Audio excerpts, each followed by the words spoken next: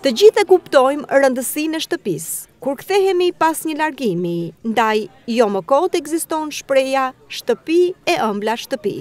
Por, për të pasur një banesë të mirë, komode, komfort dëshirave tona, me mjedise shplodhëse, ku të mbizotërojë atmosfera e ngrohtë, nuk është gjithmonë e lehtë. Përpos dëshirave, Kur arrijmë që të sigurojmë dhe të ardhurat, duhet të përballemi me shumë dilema shijesh, kohe që duhet në dispozicion dhe, mbi të gjitha, me disa showroom-e që ofrojnë produktet e nevojshme. Për herë të parë në vendin tonë, në Tiranë, përkatësisht në Komunën e Parisit, është hapur e para atelje kushtuar interior dhe eksterior dizajnit.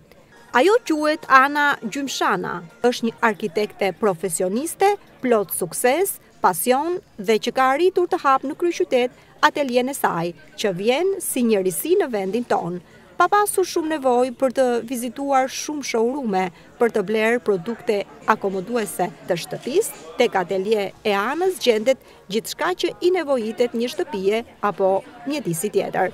Me miq, kolegë, të afërm, drejtues biznesesh të fushës, Ana ka hapur mbrëmjen e djeshme atelien e saj, të cilën për shkak të shërbimeve që ofron e ka quajtur Foleja jote nga A në Z. Me shumë shërbime, Ana shpjegon për kamerën e televizionit Adrianet se përse sot për sot atelieja e saj është e vetme në të gjithë vendin. Kjo është sipërmarrja e parë në në Shqipëri në lidhje me interior designin. Jemi mësuar që të shohim showroom me 2-3 produkte me profile të veçanta, Por ky është një showroom që të ofron një shërbim holistik, që do të thotë një shërbim të gjithanshëm, një produkt të gjithanshëm. Këtu mund të vihet për të blerë një produkt dekori, këtu mund të vihet për të arreduar dhe gjithë shtëpinë apo gjithë ambientin që do arredohet. Ndonëse për çdo profesionist, ideale do të ishte ofrimi i shërbimit për një klient profesionist, Për Anën, shërbimi do të ofrohet për të gjithë, përfshirë klientin rastësor. Të gjithë. Që do të thotë, në këtë atelje marrin shërbim si klienti profesional, si klienti rastësor. Unë kam personalisht shumë respekt për masën, kam shumë respekt për popullin, por absolutisht si çdo showroom, klienti kryesor mbetet profesionisti.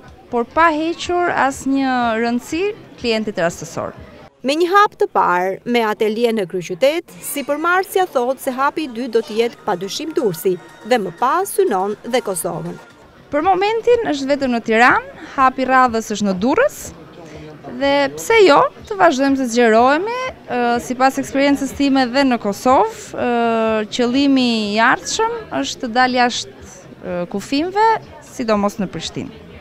Profesioniste, plot dëshirë dhe pasion për punën, Ana shpjegon se ajo çfarë ofrohet në atelien e saj lidhet me interior dhe eksterior dizajnin, duke lënë të hapur mundësinë që nesër pse jo të përfshijë dhe konstruksionin e objekteve.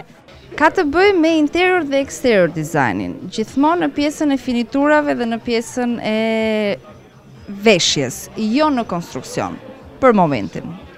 Mbrëmja inaguruese, të cilin Ana e ka quajtur falënderuese për të gjithë ata që e kanë ndihmuar, prindër, familjarë, miq dhe bashkëpunëtorë në hapjen e kësaj atelie, ka vijuar disa orë ku pjesëmarrësit kanë parë dhe shijuar nga afër produktet që atelie ofron.